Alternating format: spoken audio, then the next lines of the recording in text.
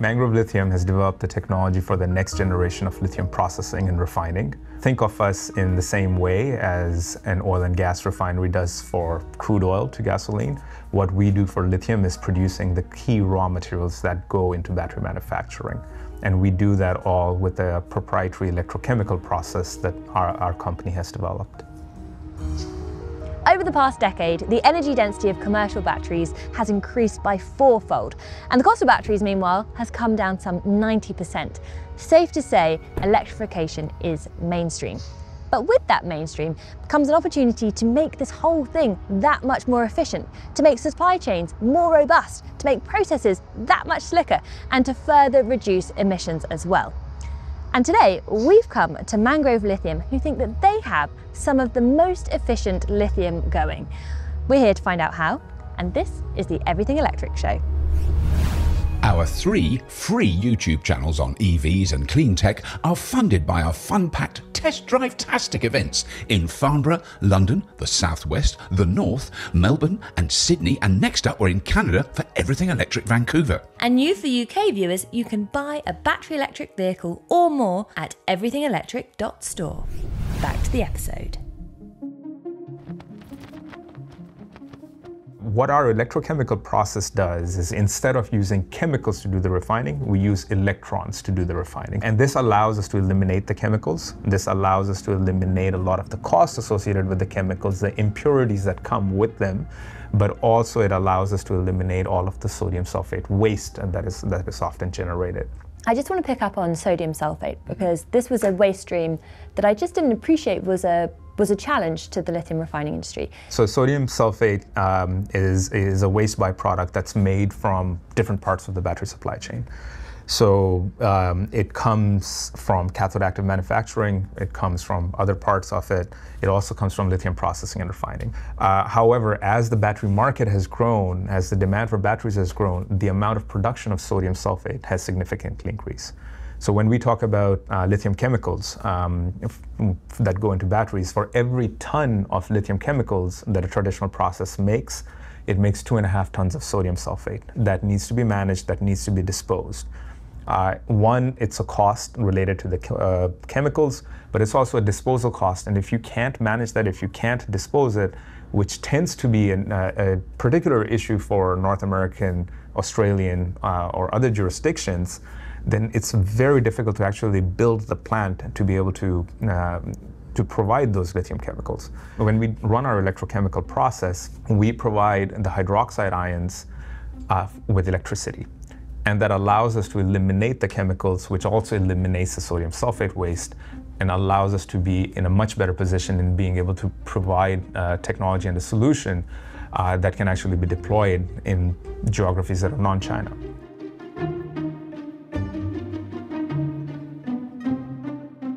This is Mangrove Lithium's pilot line facility capable of producing 10 tonnes per year of lithium. Now that might not sound like very much, but over there they're currently building out the line that will be capable of producing 1,000 tonnes per year of lithium, which is the equivalent of the amount of lithium needed for about 25,000 EVs. And in fact, they've also just announced a factory which will be able to produce enough lithium for 500,000 EVs. Now, given that 70% of lithium refining currently takes place in China, that is a huge step to help diversify that supply chain away from China. Now, the reason that they can do all of that is because the process they've developed is very modular and therefore very easily scaled. And the secret to all of it lies behind this blue curtain. But in order to understand what's going on in there, first, a few notes on lithium. Lithium really is the beating heart of all battery chemistries, NMC, LFP, solid state, you name it. And the reason is because it is the lightest metal on the periodic table and it also packs the highest charge per unit mass, making it much more energy dense than alternatives like sodium, even though they sit very closely together on the periodic table. And on top of all of that, it can give up its electrons really easily, which is exactly what you want when building a battery so that electrical current can flow when charging or discharging your battery. But the problem is, is that lithium doesn't just turn up in its pure form ready to use. It needs to be extracted. And for that, there are two main methods. There's hard rock mining, in which spodumene rich ore is extracted out of the ground in places like Canada, Australia, and China. And there's brine extraction, which happens in places like Bolivia, Chile, and Argentina, in which the lithium is um, evaporated in these huge ponds. There is also an emerging technology called direct lithium extraction, but that is not yet viable at a huge commercial scale. So instead, we need these very resource and energy intensive methods. And even then, we don't get lithium in its form ready to use. Typically, it results in lithium carbonate or lithium sulfate.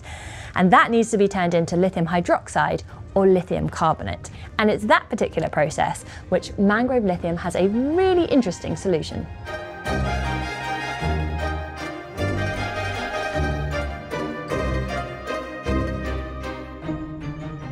Maybe to take the example of your spodumene feed, okay? So with spodumene, you're gonna start with these rocks.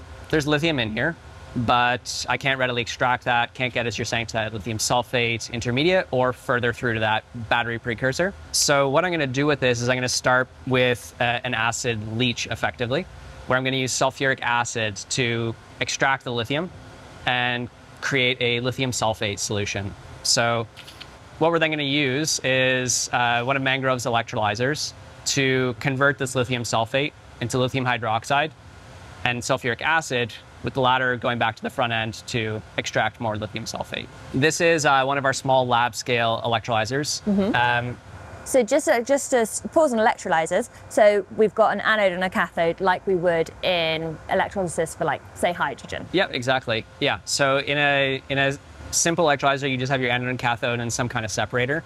This is a multi-component, multi-compartment uh, electrolyzer. Okay. And so that means that I've got, uh, between my cathode and anode, I've got additional compartments which allow me to flow different electrolytes uh, in parallel through that electrochemical cell. Okay, so just to check that I've understood, we are taking our lithium sulfate, and it is going into one of these layers. Yep. And through the power of electrolysis, we're somehow going to extract those ions. And I think that's what you're going to tell me next. Yeah, exactly. So in any electrochemical cell, you have your cathode and uh, anode, which provide an electric field. And as I flow that salt through the electrochemical cell, through that electric field, the electric field splits the salt apart. Got it. So lithium is a positive ion, and it's going to get pulled towards our negative electrode, which is our cathode and the sulfate, which is a negative ion, is going to get pulled towards the positive electrode, our anode. Okay? So as, a, as it gets split apart, those ions move across ion exchange membranes, uh, and that allows the lithium to then move towards the lithium hydroxide flow stream, and the sulfate goes towards our sulfur, sulfuric acid uh, flow stream. Okay, so then at the end of it, we have sulfuric acid, H2SO4. That's right. Yes. And then we have our lithium hydroxide. Yep. Okay. Exactly. I told you how I get the lithium and the sulfate there, but H2SO4, I also need to provide protons, and lithium hydroxide, I need to provide hydroxide. And that's really the second critical function of your electrodes. Not only do they provide the electric field to split the salt, but the reactions occurring on those electrodes provide the protons for the acid and the hydroxide for the lithium hydroxide. So the lithium is going towards the cathode. It needs to be met with a hydroxide in order to create lithium hydroxide. That's right, yeah. And on the other side, we have the sulfate or sulfur. Well, sulfate, sulfate I guess. Yep. Yep. Going towards the anode, and we need to find our source of hydrogen, our protons. That's right. To create H2SO4. So this is really neat because it's modular, it sort of has an enormous amount of circularity, or it's a closed loop sort of system. Yep. It can't have been that simple though. What are some of the really big technical innovations that have had to happen to make this possible? Yeah, so one of the key innovations that we've pioneered uh, here at Mangrove has been the development of an oxygen cathode, which can provide the hydroxide ions needed to make lithium hydroxide uh, at a lower cost than conventional electrodes might provide. Um, as well as mitigating some of the safety concerns like hydrogen production, which would be associated with uh, an alternative approach to electrochemical refining.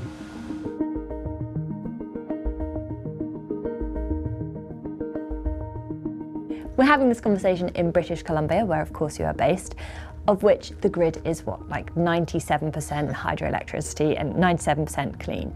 So an electrochemical process is clearly compelling because you're, you're producing it with clean electricity.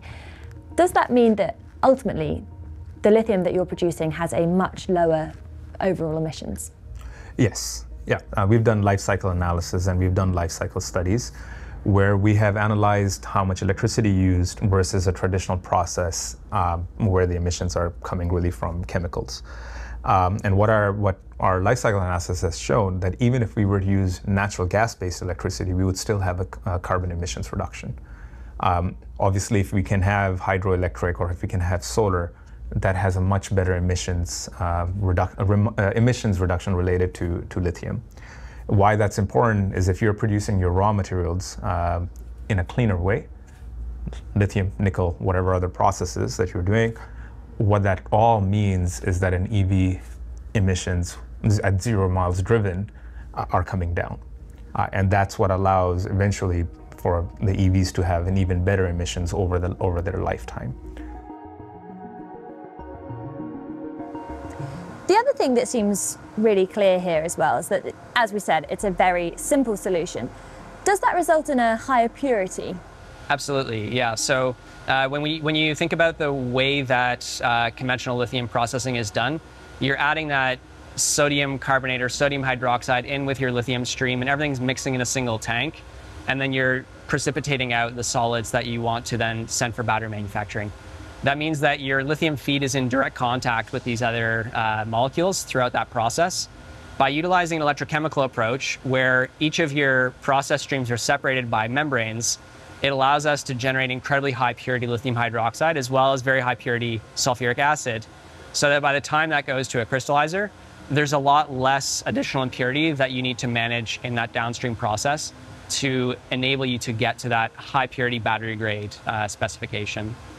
In terms of scaling this up, is it literally just a case of adding multiple electrolyzers or is there something more complicated going on? Yeah, so with, with any electrochemical system, uh, if you're running as a, as a, a production plant, uh, your production rate is the product of the area of your cell and the amount of electric current that you're pushing. So I can always take a small cell like this and just drive more current through it up to a point uh, to create more product. Uh, or I make a larger cell and keep a smaller current density to get to those higher currents. So ah. in order to go from this, um, which might give you, uh, you know, some kilograms of lithium hydroxide per year, to a really full scale production facility, you're going to work with a much larger cell, uh, roughly something that's about one and a half meters tall, about a meter wide. Uh, and then you'll just have a number of these cells connected in series. Okay. So then that way you make a stack of electrolyzers. Very similar to the way that when you are putting you know, your D cell batteries into a flashlight, you stack a bunch in series to get a higher voltage. Uh, you're kind of doing the, the same thing with an electrochemical stack. 70% of lithium refining currently takes place in China. That is a major for global supply chains in the battery industry, but a major opportunity for the likes of people like Mangrove Lithium. But above making these supply chains more robust, what we've seen here today is just cool innovation, genuine science and engineering that we can be excited about. And it seems that as these technologies, as electric technologies become more mainstream, the innovation will only continue. And in that case, so will we. But that is all that we have time for today. Please do like and subscribe. And if you have been, thank you for watching. Now visit electricvehicles.expert, where you can follow everything electric and keep current with Clean Technica, The Driven, Electrek, and many more.